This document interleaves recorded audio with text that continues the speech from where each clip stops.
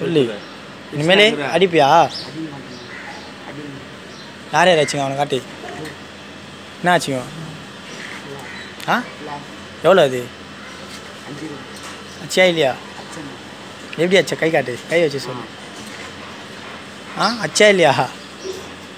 அவங்க அம்மா கிட்ட போகலாம்ல சொல்லு அச்சா இல்லையா? எப்படி ஆச்சா கை வச்சு காட்டு. ஆ?